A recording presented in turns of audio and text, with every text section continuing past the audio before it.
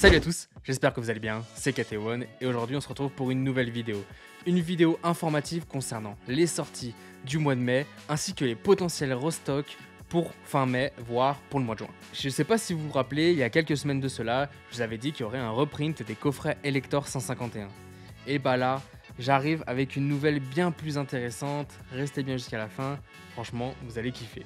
Mais avant tout, j'affiche le gagnant du duo pack concernant une précédente vidéo. Bravo à toi, n'hésite pas à m'envoyer tes coordonnées sur Instagram pour que je te l'envoie. Concernant les sorties du mois de mai, donc on a l'Orcana chapitre 4, le retour d'Ursula qui sortira ce vendredi pour les boutiques physiques et pour les boutiques en ligne, ça sera fin du mois, donc le 31 mai, il me semble. Donc une série qui s'annonce euh, vraiment sympa. Euh, moi j'avais bien aimé le chapitre 1, le chapitre 2 un peu moins. Le chapitre 3 était très cool et le chapitre 4 franchement il y a de très belles cartes. Pour le moment je ne suis pas trop attardé sur les cartes basiques. Par contre j'ai bien analysé euh, les enchantés. J'affiche quelques visuels d'enchantés à l'écran. Franchement il y a de très belles cartes comme la Anna, euh, la Porcinet est très marrante. La Ursula, franchement, elle est sympa. Il y a de très belles cartes sur ce chapitre. Donc, concernant l'Orcana et le chapitre 4, tous les produits sont encore disponibles sur notre boutique avec certains produits en promo. Par exemple, la display à 125 euros ou bien encore le pack à 165, il me semble. Donc, pack display avec le coffret euh, Ursula. Donc, franchement, des prix très très intéressants. Et en plus de ça, lorsque vous achetez le pack display plus coffret. Cela vous rajoute une participation pour remporter un coffret Ursula. Donc pour le moment, il y a juste une participation, donc il y a eu juste une commande euh, depuis que nous avons lancé ce, jeu un peu promotionnel. Donc euh, n'hésitez pas à aller faire un tour sur pokélément.fr dans la catégorie Lorcana. Ensuite, on va passer à EV6. EV6, Mascarade crépusculaire. J'avais fait une vidéo à ce sujet-là quand certains leaks étaient sortis. Donc voilà, une série qui est fortement boudé déjà avant sa sortie. Moi, personnellement, mon avis, euh, pour le moment, c'est la pire série euh, Écarlate Violet. EV1 n'était pas dingue, EV2 très sympa, EV3, bon, c'était pas non plus exceptionnel à part parce qu'il y a le drac au feu, donc du coup c'était hyper hype, mais au final elle n'était pas exceptionnelle. C'est vrai que c'est sur EV3 qu'on a fait le plus de ventes hein, euh, concernant les séries Écarlate Violet. EV4, e franchement super sympa avec les futurs, passés, etc. Les alternatives très très sympas. EV5, franchement, banger avec les trois chiens légendaires, même si ils ont modifié leur forme, franchement les cartes sont incroyables, les décors euh, sur l'illustration, les décors des cartes franchement sont incroyables. Donc EV5 vraiment une belle série. Et on a EV6, franchement EV6 pas fou. Euh, les seules choses qu'on a, ça va être euh, l'alternative d'Amphinobie et euh, quelques AR qui sortent du lot, dont la Evoli. Mais c'est vrai que c'est vraiment pas dingue. Donc là, on est sur une sortie le 23 mai, il me semble. Tous les items sont encore aussi disponibles sur la boutique Pokélément et on vous propose un pack à 250 euros. Donc un pack au niveau euh, prix imbattable, donc avec frais port offert avec Mondial Relais.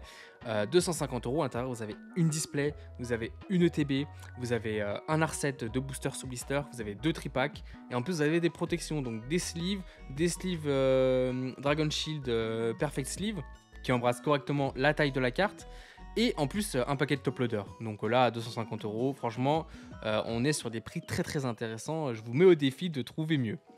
Donc voilà, concernant EV6, e j'ai quand même hâte d'ouvrir parce que c'est une nouvelle série, etc. Mais c'est vrai que la série n'est pas dingue et je pense que même moi, je vais moins ouvrir d'EV6 que les séries précédentes où je me suis régalé avec EV4, EV5, etc. Donc vous l'attendiez, vous l'attendiez depuis le début de la vidéo, je vous ai parlé d'un potentiel restock.